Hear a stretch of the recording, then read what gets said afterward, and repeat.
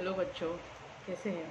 तो आज हम लोग एक फ़िज़िकल एक्टिविटी मतलब शारीरिक एक्टिविटी करने वाले हैं।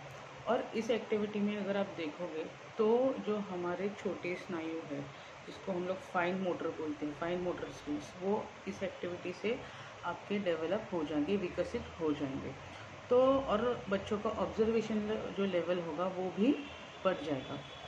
तो अभी हम लोग को क्या करना है, आपके पास जो बॉटल्स रहते हैं पानी के बॉटल रहते हैं अलग अलग साइज़ के छोटे बॉटल मीडियम साइज़ बॉटल बड़े बॉटल ऐसे जो बॉटल्स रहते हैं आपको वो लेना है। या फिर अगर आपके पास बॉटल्स नहीं हैं तो आपको जो आपके कंटेनर्स रहते हैं प्लास्टिक के अगर कंटेनर आपके पास है या फिर टिफ़िन के छोटे बॉक्सेस है आपके पास स्टील के अगर टिफ़िन से छोटे छोटे डिब्बे डिब्बे जिसको हम लोग बोलते हैं वो आप ले सकते हो। लेकिन उसमें आपको अलग अलग साइज़ लेनी है। और जैसे मैंने यहाँ पे देखो, अगर आप देखोगे तो तीन बॉटल लिए है। एक छोटी बॉटल ली है, एक मीडियम साइज़ बॉटल ली है और एक बड़ी बॉटल ली है। तो इसमें हम लोग बच्चों के लिए जो साइज़ रहते हैं, जो बच्चों का बॉटल का जो साइज़ है अब देखोगे, आप तो ये देखो, इसका जो मुँह है, जो उसका साइज़ है, हम लोग आज उस हिसाब से मैच करने वाले हैं। तो ये जो एक्टिविटी है, वो बहुत ही इजी एक्टिविटी है। आपको सिर्फ़ क्या करना है,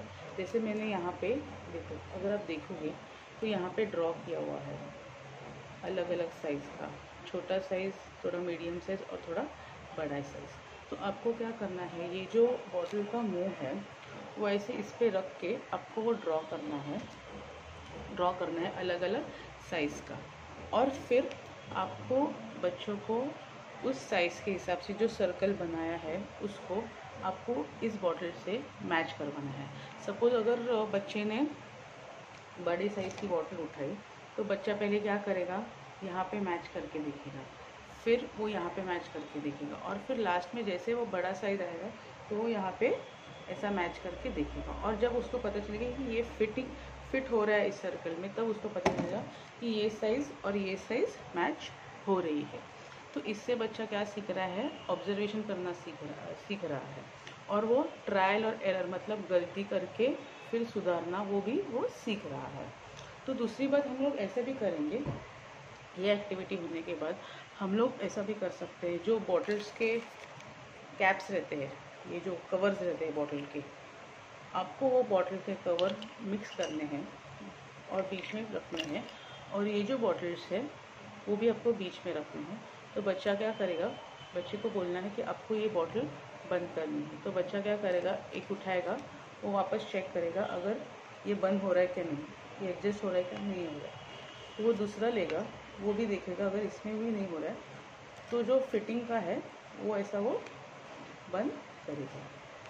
इसमें शायद से बच्चा पूरी तरह बॉटल का ढक्कन बॉटल बंद ना कर पाए तो भी ठीक है, लेकिन आपको बच्चे को ये बॉटल बंद करने की कोशिश बोलने बच्चों को बोलना है कि आपको ऐसे ये बॉटल बंद करना है। जितना हो सकता है उतना वो करेगा।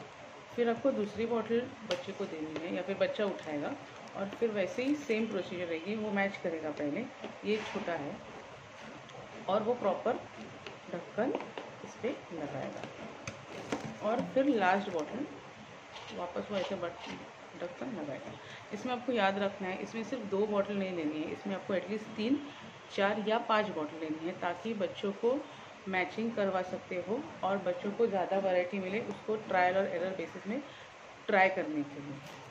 दूसरी चीज़ ऐसी है कि जब आपका बच्चा ये सब चीज़ें कर रहा है, तब आपको ऑब्जर्वेशन करना है कि वो क्या क्या कर रहा है। वो ट्राई कर रहा है या उसने ऐसे ही छोड़ दिया। आपको थोड़ी मदद करनी है बच्चों की, पूरी तरह ने उनके हाथ पकड़ के उनको वो बॉटल बंद करवाने को नहीं बोले। उनको खुद को करने दो।